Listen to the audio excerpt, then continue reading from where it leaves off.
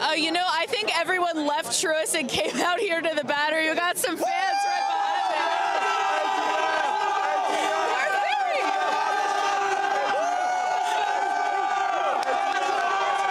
I mean,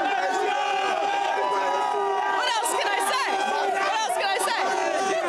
Let's see this newspaper. Show me the. Hey, you guys, you guys stand back a little bit. Okay, show me this newspaper. Look at that. Worth the wait. Tell me about what it was like being here tonight. Honestly, it was an amazing experience. This is a once in a lifetime opportunity, and I hope we can get back here next year because world champions, baby!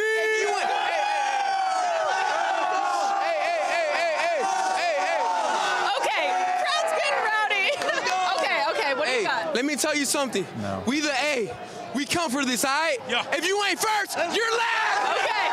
Okay. Okay. All right, Savannah, thank you. We'll take it right back here. We appreciate it. Great seeing the energy and the enthusiasm out there. So much of it. Mm-hmm. I, I, we just talked about how this season has gone for the Braves. Who would have imagined that this is where we are right now? No, I mean, hey, look, I mean, they, they, they had a hard time getting over 500, and, mm-hmm. you know, I think a lot of people, you know, sort of dismiss them. Not, Yeah. not, not only a fan base thinking, well, you know, they've got too many injuries, they've had some bad luck, bad misfortune, they'll sort of reload and get ready for 2022. But I think a lot of people around Major League Baseball, particularly around the All Star break, I, I think they thought they were, you know, they were dead in the water. yeah. Uh, And, and uh, you know, this is why we follow sports. This is Oh, yeah. why sports never has know. great meaning.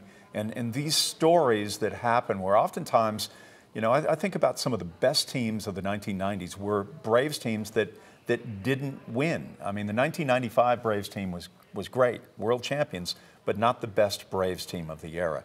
Best teams don't always win. Those teams that get hot, as Freddie Freeman talked, where they got hot, they got on a roll, they believed they were going to win, and they had that incredible camaraderie inside the clubhouse, which was, you know, really led by Brian Snitker. I mean, this is what happened when they all came together, all on the same page, and they got hot and just never stopped. I know these images from the end of the game there. You can just see the elation on all of these players. They've got their new hats, they've got their new shirts proclaiming that they are the world champions. And Jeff, you know, you were talking about how it, they were, it was a struggle to get hot. Well, Freddie Freeman told our Maria Martin, it doesn't matter anymore.